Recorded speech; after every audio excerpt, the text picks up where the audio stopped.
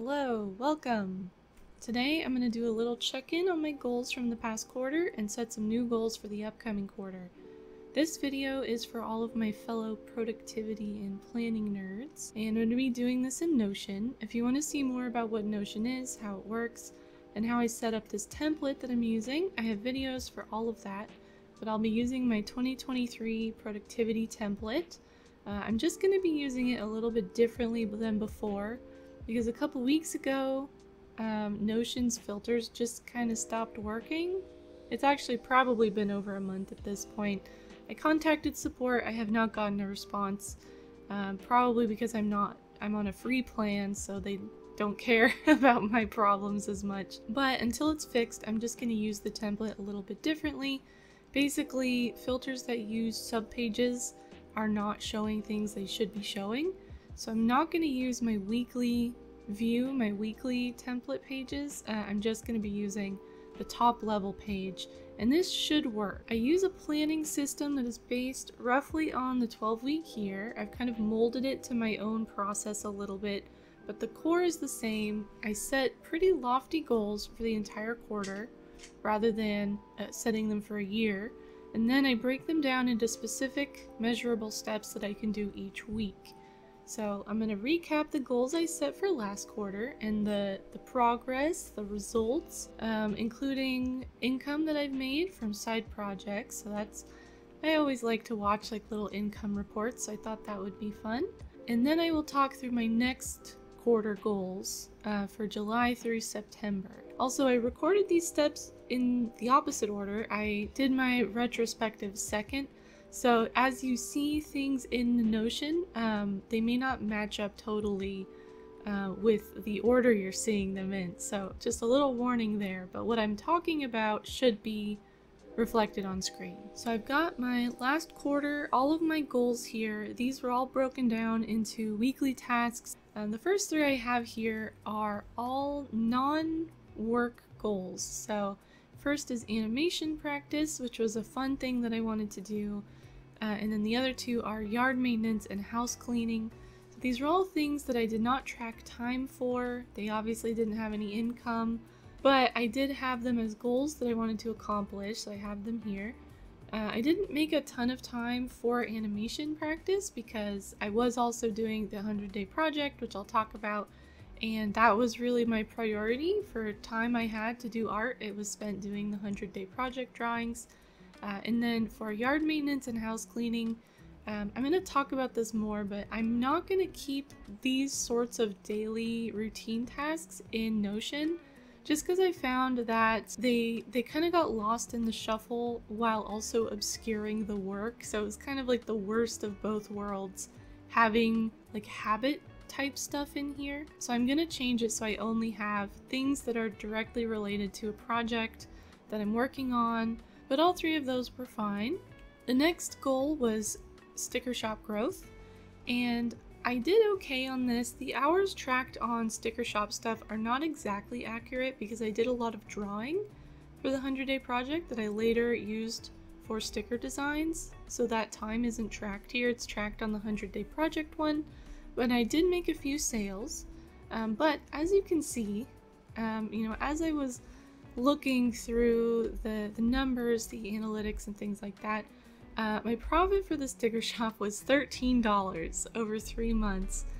Not fantastic. Um, this does not cover site hosting costs. It certainly doesn't have any extra to pay sort of for my for my time designing and formatting and all of that stuff. Um, I may make a whole video about like problems problems I'm having uh, if that is interesting to people about things that have gone wrong running my sticker shop, uh, which is also a t-shirt shop. I guess I should just call it an art shop at this point, even though I don't sell prints. But that's all beside the point. Uh, in general, I did the things that I wanted to do for this goal, so that part is is great. Uh, I just think uh, if I want to see a sort of profitable business here, I'm going to need to make a lot of changes going forward which I, I didn't exactly plan for. I need to do a little bit more brainstorming on this. The next goal is my 100 day project. This was a goal all of its own. It did not result in any direct income, but it did contribute to the sticker shop designs, like I mentioned. Uh, I feel really good about this one. I did all 100 days.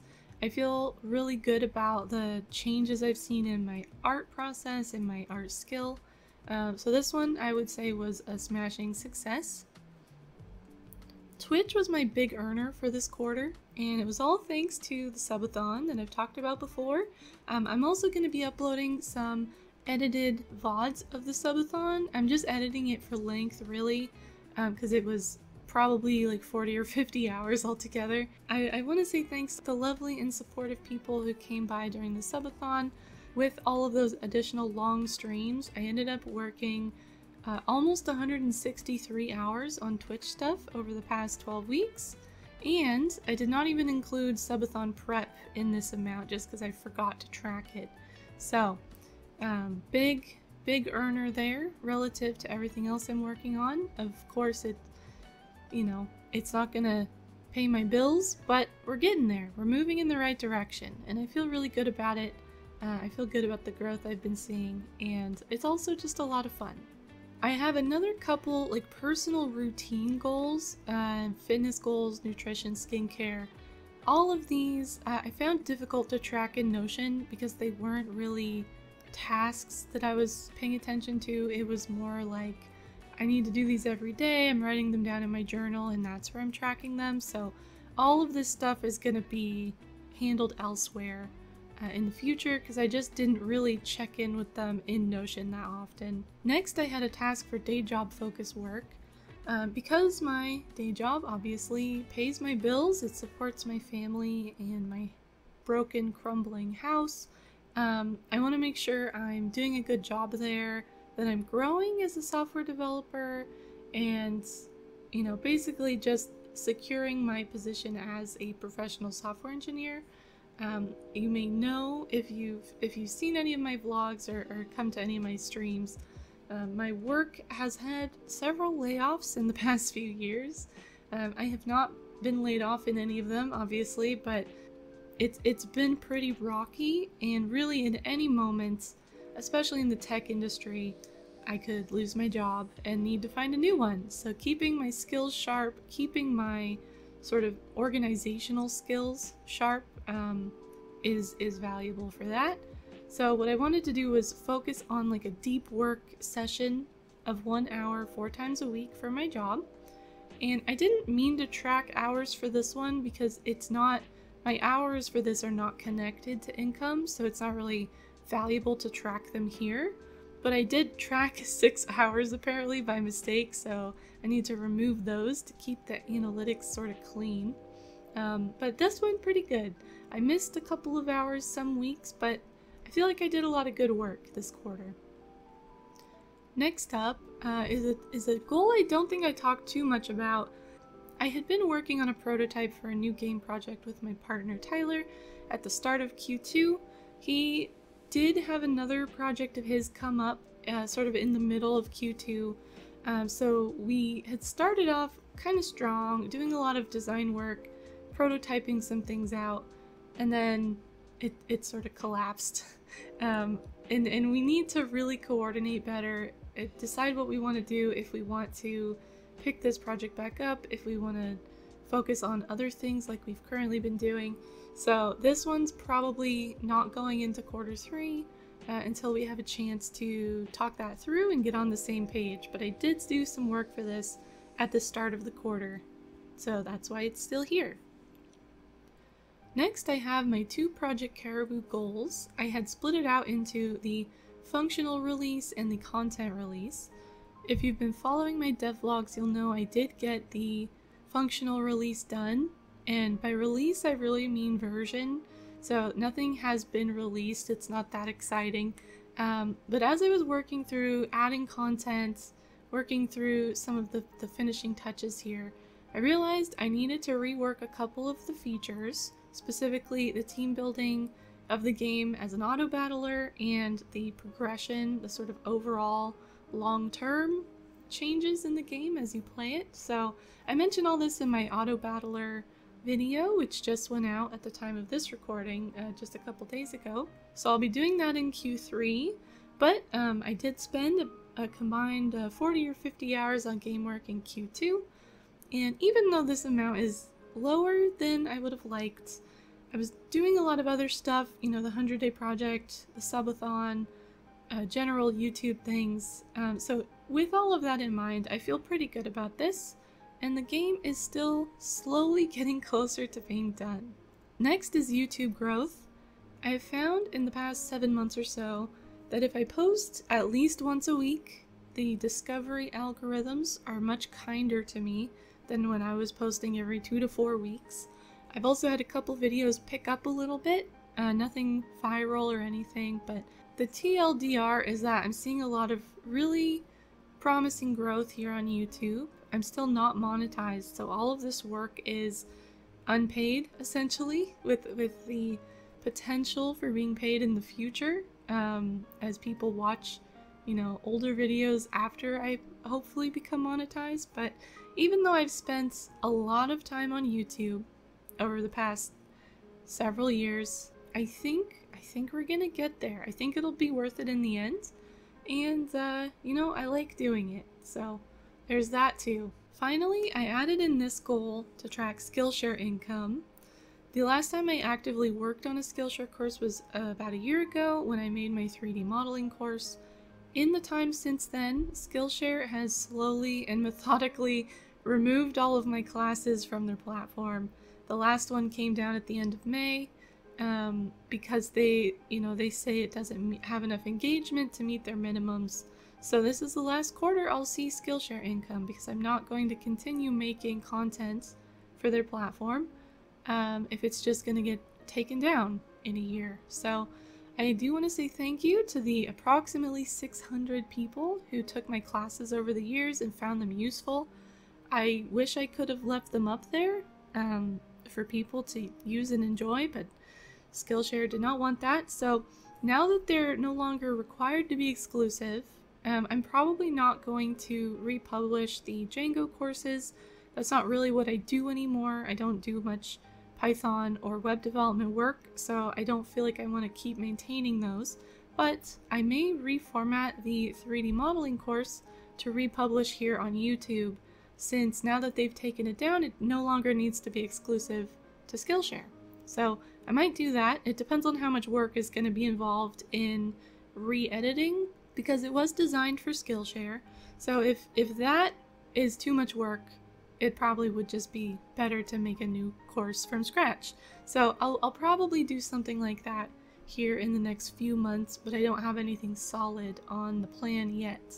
Um, but Skillshare did offer some income, and at this point, after you know getting all these courses made, uh, it was entirely passive, just as people were finding and taking my courses. So thank you for all of that. Um, it's sad to see it go, uh, but I didn't have much of a choice in the matter. And that's all of them. Um, so even though I abandoned a few of my goals halfway through the quarter, I still got about 70% of my tasks done for Q2, which is almost where I like to be. It's a little low. I like to be around 80 85%, but it's pretty good. And it's also very encouraging to see that even though I'm going to be losing Skillshare income completely, um, my other projects that I've been giving more attention to are gaining traction to balance things out. You know, Twitch and to a much lesser degree, my sticker shop. Um, you know, we're, we're sort of gaining a foothold in these. So it's really nice to look back on all the time I spent, all the things I did, and all the things I earned out of that. And none of this even goes into, you know, community building, engagement on social media, or anything like that. So this is just a, a little sliver of, you know, an overview of how things went. Next, we're going to set up for Q3. To start off, I'm creating a new page of the time frame page using my template here for the quarter. I wanted something like an autumn leaf for the like an autumn theme for the page, but as I'm looking back now, maybe it's a bit early for autumn. Maybe I'm being a little bit optimistic that we're not going to have a deadly summer like we have the past few years. But um, for Q3, I filled in a brief note at the top. I really want to focus on my game this quarter, which should come as no surprise to anybody.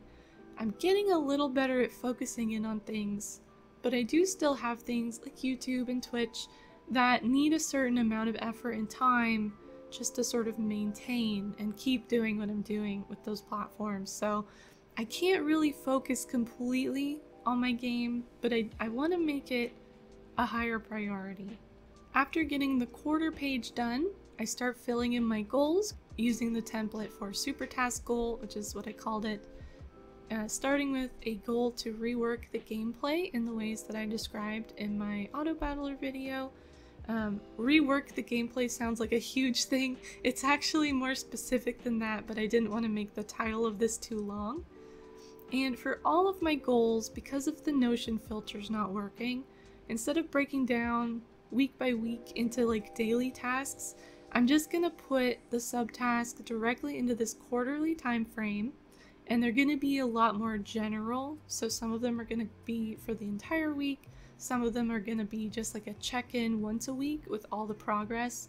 But for all of these goals, I fill in the description with any relevant info. This is where I explain what I want to accomplish for this goal, if there is sort of like an end an end state or if I want to do a certain thing a number of times each week. Um, I want to make sure I'm capturing that here so I know, um, you know, in a week or two, I'm gonna forget what I was thinking when I made these, and it's it's nice to have that reminder. And then for the weekly things, uh, I'm gonna use my batch create automation. I actually, for the first one, I created a task and duplicated it. I'm not sure why. I guess I just forgot that I made this automation button. But for all the other ones, I do go in and use the batch create button that I made, and it goes a lot quicker. For my weekly breakdown of game tasks, I decided I wanted to do two good development sessions each week. This is a little less rigid than my previous requirement of five hours of dev work each week, and I think it will help me focus on just sitting down and getting started and doing the work rather than meeting a time quota. I think what I really need is to, to allot time to do the work and actually get into it. I have a lot of resistance around starting on game work. You know, in my head, it's gonna it's gonna be a whole thing. Um, but I think if I can just get into it, it'll be a lot better. Like, cause it's not unpleasant work once I start doing it. It's just the thought of doing it. So I'm hoping that this phrasing and this framing of the goal will help me get into it. I also wrote down in my brainstorming doc that I didn't show here that I want to post weekly on Instagram and potentially Discord to stay accountable for my game dev work, but instead of including that here as a separate task, I'm going to have a, a social media posting goal so that's going to include that. Next, I added my Twitch streaming goal, which is nothing crazy. I did my big subathon in June, so from here we're just going to keep up the schedule of three days a week of streaming. There are also a bunch of games coming out in September that I'm very excited about, so I need to keep that in mind um, because Q3 does cover September. I may want to just mark out on my calendar that I, I might want to bump up my streaming schedule then, um, just to experience all these new games uh, with my with my people, you know? Next, I added the task I just mentioned, the social media posting task. Um, I have plans to post on my art Instagram twice a week, post about my game development progress once a week, and then also to post in Laini Taylor's Discord for her Create Along uh, project, which goes all year. You just post once a week of a creative thing that you did, and it's really, really helped me be accountable. I know I've talked about it before. It's part of her Patreon benefits to be part of the Discord, and I've enjoyed it a lot. And I just want to make sure I'm still doing it. So I, I want to have all these different things in one task each week so that I can remember to do them, check them off, and then be good to go. Next, my YouTube channel goal. As I mentioned in the retrospective part of this video, Posting weekly has been a, a significant amount of work, but it has helped my channel grow. Uh, at least that's what I think is helping. it's really hard to know. Uh, but my focus for this quarter is my game, so I just want to maintain this level of effort on YouTube, and whenever possible, try to blend the two by making dev vlogs or game dev videos, uh, tutorials of things I'm actually working on, uh, whenever it makes sense, to see if I can, if I can, you know, two birds with one stone, some of this. The next goal is not uh, related to a specific outcome, but I want to make sure I'm practicing my art. I guess it kind of ties into the sticker shop because in theory I'll be able to use my art time and my improved skills to make designs for my shop. Um, but I don't have any outputs outlined for this, uh, just practicing art each week. And I want to do 20 sessions of figure drawing practice. So this is a pretty flexible definition. And I want to do that 20 times throughout the entire quarter. So I made one big task for that, and then weekly tasks for the art practice. Now, a surprise goal. this one took me by surprise too. Um, I want to participate in Camp NaNoWriMo, which is a, a mini version of NaNoWriMo in November. And instead of writing a novel in a month, you get to set your goal to whatever you want.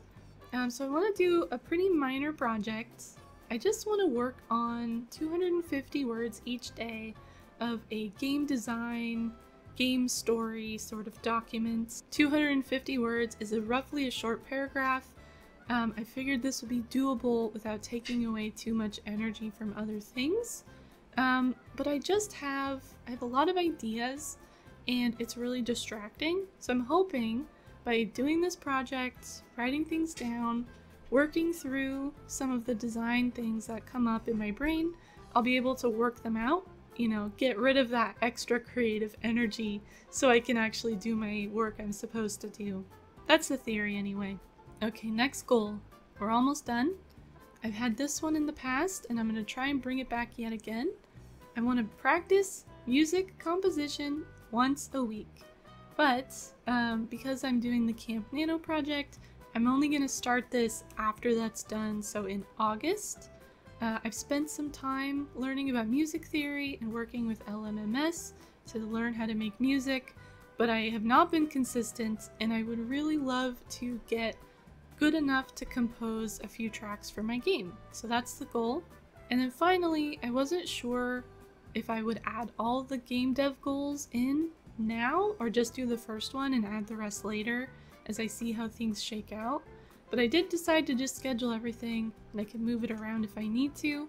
So I added a goal for figuring out the overall game progression and the lore and implementing that into the game. This is the second big piece that I identified that needed some work, uh, aside from the team building stuff that I mentioned. And that's everything. I do have some fitness and health goals, but like I mentioned, I decided to track those in like a habit tracker in my journal somewhere else that I think makes more sense. And with this set up in Notion, I'll use the same like day-to-day, week-to-week planning routine as I did before. At the beginning of a week, I'll go through, make sure everything looks right, that the week looks balanced. I'll make a note of things I want to do that week and create a loose schedule. Then each day I'll write down specific tasks in my bullet journal on paper because this is what makes it real for me. This helps me work through all my daily tasks by writing them down. At the end of the week, I'll make sure the progress for each task is updated in Notion, take a measure of how I did, and then quantify that progress, which is part of the 12 week year system, and then I'll start the week. It's somewhat monotonous, but that's really what I want for a planning system. It should not take a lot of time to manage. Um, you should just be able to use it, and I think I'm finally getting there. But that's all for this video. I hope you enjoyed it. If you would like to, you can get my Notion template from my Ko-fi shop, or if you want to build it yourself, I have a whole video walkthrough of how I built it. Don't forget to subscribe if you want to see more videos about games, development, and creativity, because I will be back soon with another video every week according to my plan, and I hope to see you there. Okay, bye bye.